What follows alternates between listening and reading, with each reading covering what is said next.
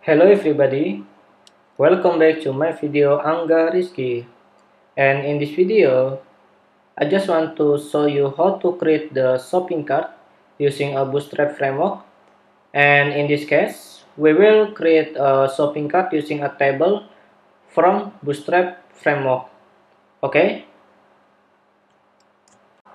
The basic things you need to do is only install the bootstrap framework and I have prepared the product image right here. This is for sample image for product. Okay guys. So you can prepare it for yourself and install the bootstrap framework. You can watch my another video to install the bootstrap framework. Okay?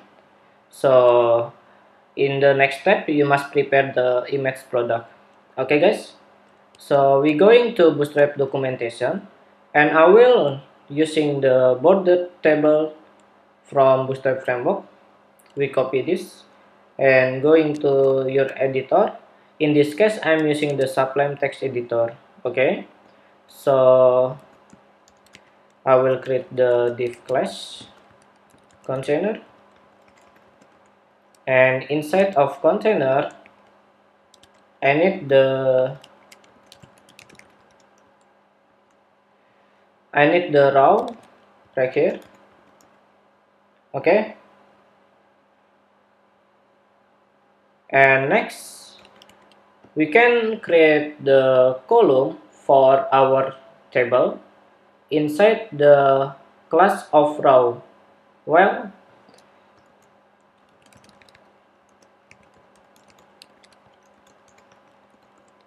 okay. This column I will use to create the header title for shopping cart. I'm using the header to my shopping list. Okay. And then we just need to create the column again. Call md12 for our table right here okay. Then we save it. After that we create the table heads for the title each table. And then we just need table row and table column. And class for table row okay? And I will give the table column is for image. And then name of product and price. Okay? So you can add for quantity. Okay well I it then I will pre I will preview it into my browser like this. My shopping list and this is for image name of product price and quantity. Okay guys so we just going to sublime again and copy the table head and change the table head into table body. And then you can give the image right here image product png. Okay? We save it then preview we got it because the image is uh, has a big size. So we need to resize it using the attribute heads.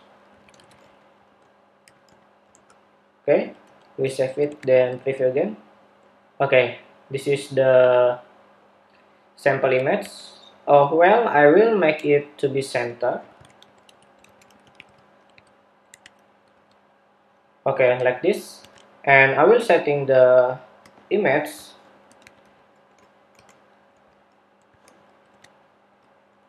Like this okay? And now we next to create the name of product price and quantity okay? But before we create that we, we just need to add the margin right here of the below my shopping list okay? So I'm going to header to and give the style margin bottom 30 pixel. Like this. Okay now I will give the name is DVD web design. The price is around like this and the quantity is 13 we save it then preview again.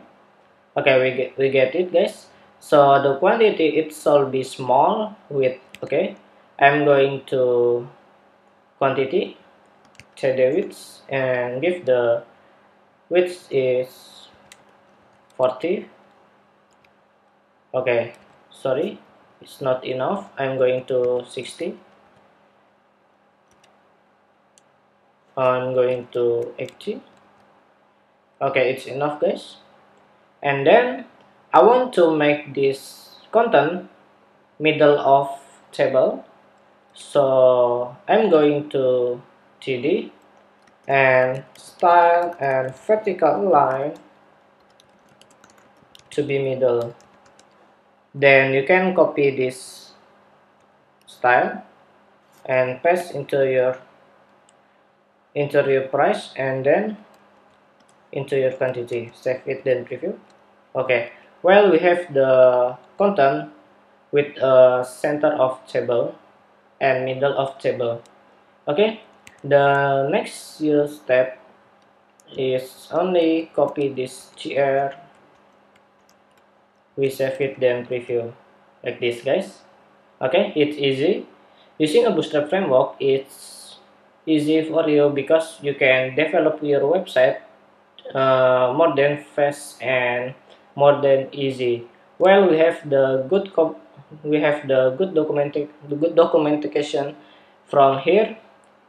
You can read the documentation okay? So next we just need to create a button for checkout and we create the button for back to shopping okay? Well i'm going to bootstrap and going to top and we need to using the but button from bootstrap framework. Okay well i'm going to button groups. Oh well we need to button okay? Like this. This is for drop down. Now I just want to make my button. We going back to Sublime and we click right here. And you can have like this okay? And create the column again